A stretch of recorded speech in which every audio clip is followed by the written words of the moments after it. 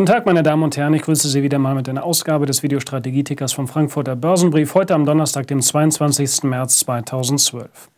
Der DAX hat sich zumindest per Schlusskurs gestern oberhalb von 7000 Punkten behaupten können. Es gab ein kleines Plus gestern von 0,23 Prozent auf 7071 Punkte. Der Eurostox 50 und auch der S&P 500 waren leicht im Minus, aber das geht grundsätzlich in Ordnung. Bester DAX-Wert gestern war übrigens Deutsche Börse mit plus 3,08 Prozent.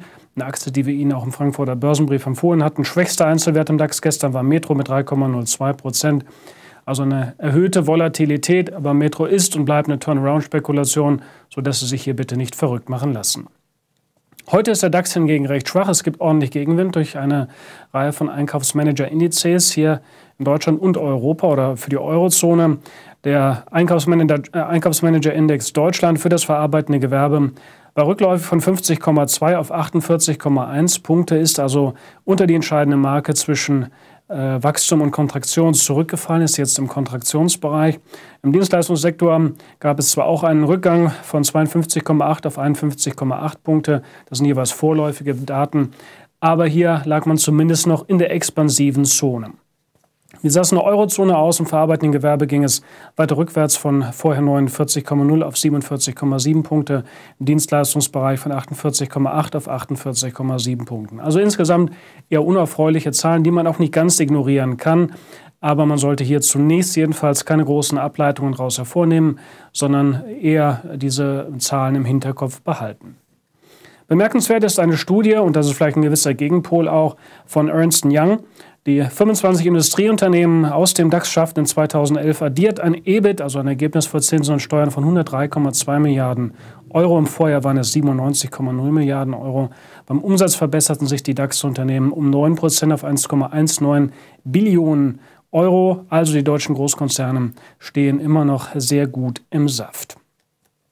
Bevor wir gleich noch auf einige Aktien bzw. Unternehmensdaten und Meldungen zu sprechen kommen, noch ein kleiner Seitenblick in die USA, nämlich auf den amerikanischen Immobilienmarkt.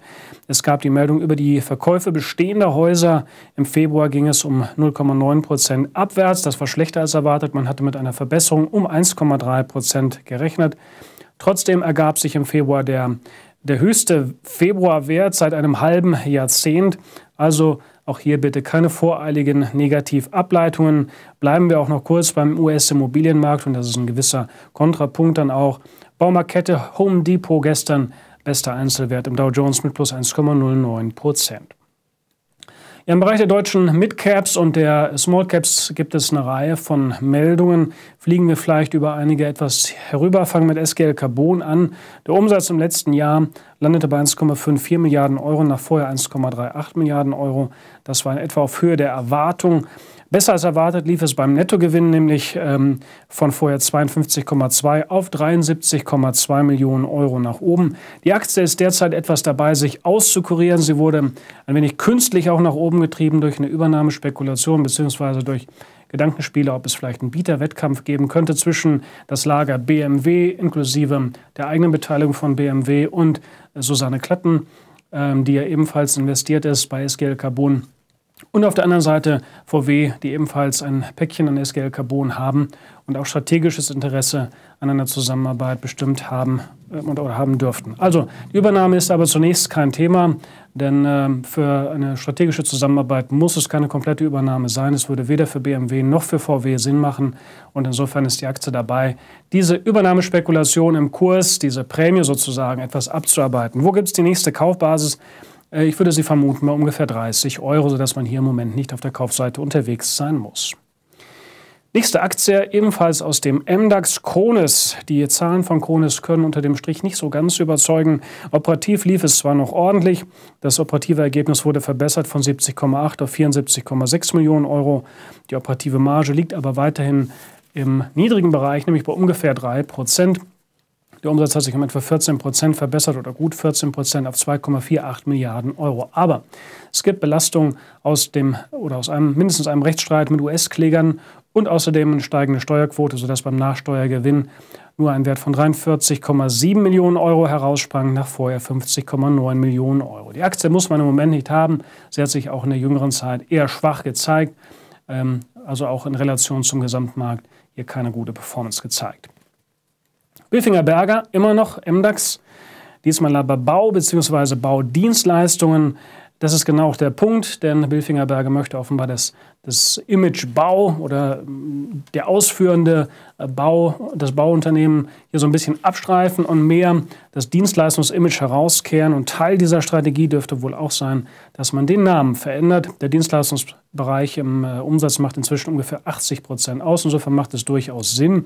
Den Aktionären wird man wohl bei der kommenden Hauptversammlung am 10. Mai vorschlagen, ähm, das Unternehmen umzubenennen, beziehungsweise einen Unternehmensnamensteil zu streichen, nämlich das Berger, sodass das Unternehmen dann zukünftig Billfinger SE heißen würde. Kommen wir damit in den etwas spezielleren Bereich hinein. Data-Modul fangen wir damit mal an. Umsatz 2011 plus 11,8 Prozent auf 140,9 Millionen Euro. Beim Ergebnis vor Zinsen und Steuern ging es deutlich überproportional aufwärts, nämlich um 52,0 Prozent auf 10,1 Millionen Euro. Der Jahresüberschuss wurde in etwa verdoppelt auf 7,6 Millionen Euro. Im Gewinn je Aktie ging es auch deutlich nach oben von 1,11 auf 2,16 Euro. Ja, man wird den Aktionären wohl dann auch vorschlagen, eine Dividende von 60 Cent. Und damit hat man hier insgesamt doch unter dem Strich sehr gute Zahlen. Die Aktie kurzfristig ein wenig in der Atempause, aber ob diese Schwäche sich dann bestätigt, ist zunächst etwas offen, sodass man hier grundsätzlich eher sich auf der Kaufseite orientieren sollte, denn das KGV liegt nur bei grob 8. Die Aktie ist also auch nach dem jüngeren Kurssprung und der sehr, sehr starken Performance vor der jüngsten kurzen Konsolidierung immer noch günstig bewertet. Weitere Spezialitäten Aktie Augusta Technologie. Hier ging es beim Umsatz um 31 Prozent aufwärts auf 101,3 Millionen Euro. Überschuss von vorher 10,4 auf 37,0 Millionen Euro. Also eine sehr gute Leistung, sehr gute Verbesserung. Die Aktie läuft auch in einem takten Aufwärtstrend, dürfte demnächst auch ein neues Kaufsignal setzen. Also hier weiterhin auf der Kaufseite äh, oder können Sie weiterhin auf der Kaufseite bleiben. Der nächste Zielbereich dürfte dann so im Bereich ungefähr von 20 Euro liegen. Dann noch ein kleiner Seitenblick auf Verbiom, Spezialist für Biosprit. Im jüngsten Geschäftsjahr gelang eine deutliche Umsatzverbesserung, aber es gab auch einen Gewinneinbruch von vorher 8 auf gerade mal 1,3 Millionen Euro. Wer die Marge sucht, muss bei diesem muss bei dem Umsatzvolumen von 754 Millionen Euro quasi das Mikroskop zu Rate ziehen.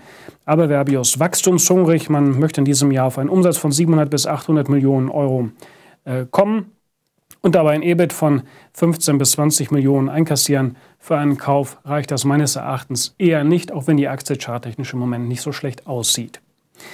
Wir sind angekommen beim Terminkalender. Angesetzt war bzw. ist für heute Japan Leistungsbilanz Februar, außerdem EZB-Ratssitzung, ferner Euroland Auftragseingänge Industrie Januar und am Nachmittag unserer Zeit dann auch einige Meldungen aus den USA, nämlich die Erstanträge auf Arbeitslosenhilfe für die Woche und der FHFA Hauspreisindex Januar.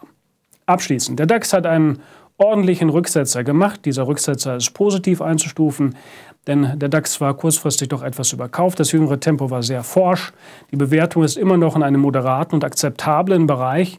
Liquidität ist immer noch reichlich vorhanden, aber hier und da war man doch vielleicht etwas zu sorglos. Das zeigte sich beispielsweise beim VDAX oder auch, wenn man das US-Pendant heranzieht, beim VIX-Index, wo Absicherungen im Moment relativ günstig sind. Das heißt, der Markt fragt diese Absicherungen und putzt offensichtlich damit im Moment nicht sehr stark nach oder in jüngerer Zeit. Und das deutet eben darauf an, darauf hin, dass man doch sich in relativer Sicherheit wiegt.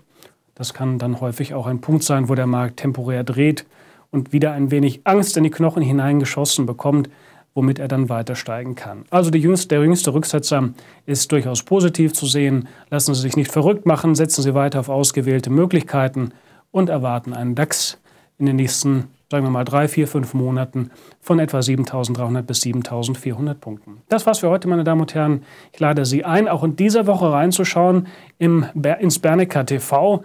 Diese Woche wird es wieder den Bernecker Stammtisch geben und dann auch ähm, Angaben oder die Informationen, wie wir in dem Depotspiel weiterverfahren. Sie wissen ja vielleicht, dass wir im Bernecker Depotspiel antreten. Die Redaktion des Frankfurter Börsenbriefs gegen die Redaktion von der Aktionärsbrief. Lassen Sie sich das bitte nicht entgehen. Schauen Sie hier rein. Das war's für heute. Ich wünsche Ihnen einen guten Börsentag. Ihr Walter Tissen.